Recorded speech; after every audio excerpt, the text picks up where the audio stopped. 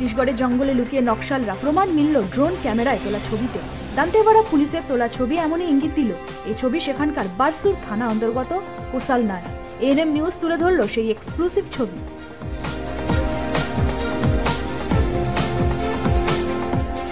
ছত্তিশগড়ের নির্বাচনে বাকি আর মাত্র ষোলো ঘণ্টা তার আগে ছ ছটি বিস্ফোরণে উত্তপ্ত পরিস্থিতি। আজ কাঙ্কেরের কোয়েলি বেড়ায় পরপর ছটি জায়গায় এই ব্লাস্টের ঘটনা ঘটেছে। শুধু তাই নয়, বিস্ফোরণের পরেই নকশালরা সেনাদের ওপর হামলা চালায়। এই ঘটনায় বিএসএফ এর এক এসআই গুরুতর জখম হয়েছে।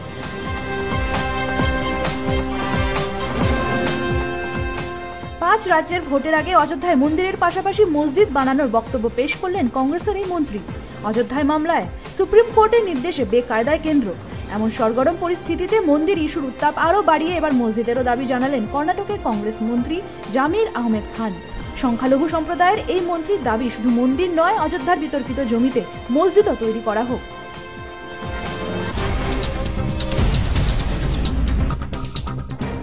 সাতই ডিসেম্বর তেলেঙ্গানায় অনুষ্ঠিত হতে চলেছে বিধানসভা নির্বাচন।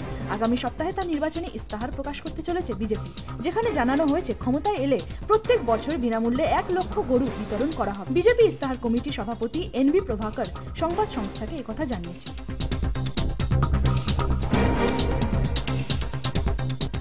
কলকাতায় এসে মৃত্যু হলো এক ম্যানেজমেন্ট ছাত্রের। কলকাতার ধর্মতলার একটি অভিজাত হোটেলে উঠেছিলেন ওই ম্যানেজমেন্ট ছাত্র। গুজরাটের রাজকোটের বাসিন্দা হর্ষ বালানি। জামশেদপুরের একটি বেসরকারি কলেজের ম্যানেজমেন্টের ছাত্র ছিলেন তিনি। অনেক খোঁজাখুঁজির পর বৃহস্পতিবার দুপুরে তাকে হোটেলের ঘরের তালা ভেঙে উদ্ধার করা হয়।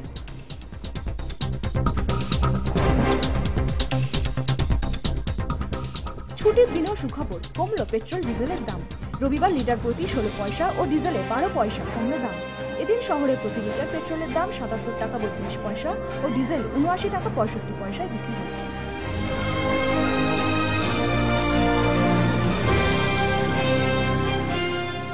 সম্প্রতি ভারতের পশ্চিমবঙ্গের বুদ্ধিজীবীদের সম্পর্কে বিরূপ মন্তব্য করে ফের আলোচনায় এসেছেন লেখিকা তাসলিমা নাসরিন। সম্প্রতি তিনি ফেসবুকে লিখেছেন, পশ্চিমবঙ্গের বুদ্ধিজীবীরা চাটুকার। তাসলিমার এমন বক্তব্যে দ্বিধা বিভক্ত হয়ে পড়েছেন বুদ্ধিজীবীরা।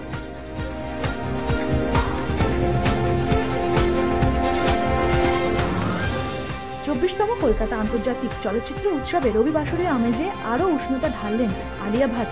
বাবা মহেশ ভাট ও মা সোনি রাজধানীর সঙ্গে এদিন নন্দন দুইয়ে সাংবাদিকদের মুখোমুখি হন আলিয়া।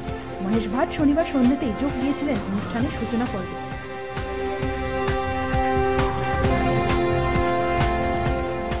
বঙ্গে ইতিমধ্যেই ঠান্ডার আমেজ পড়েছে, এবার আরও জাঁকিয়ে পড়তে চলেছে ঠান্ডা। তারই পূর্বাভাস পাওয়া গেল। উত্তর পূর্ববঙ্গে তৈরি হচ্ছে একটি ঘূর্ণিঝড়ের কেন্দ্র।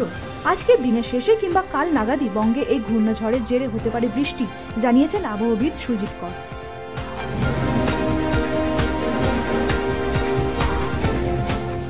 ক্যারিবিয়ানদের বিরুদ্ধে টি টোয়েন্টি সিরিজে নেই বিরাট কোহলি, এখন আপাতত বিশ্রাম। ক্রিকেট থেকে বিশ্রামে থাকলেও ব্যস্ততার মধ্যেই দিন কাটাচ্ছেন ভারত অধিনায়ক। জন্মদিনে ভক্তদের জন্য নিজস্ব অ্যাপ এনেছেন। ওয়ান এইটেরও উন্মোচন করেছেন বিরাট। এবার মাতালেন ফ্যাশন শোর মঞ্চ।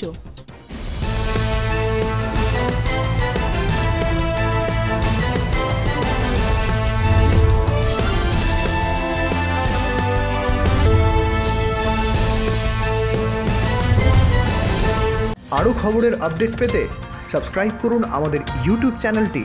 আর বেল আইকনে ক্লিক করুন নোটিফিকেশনস পেতে।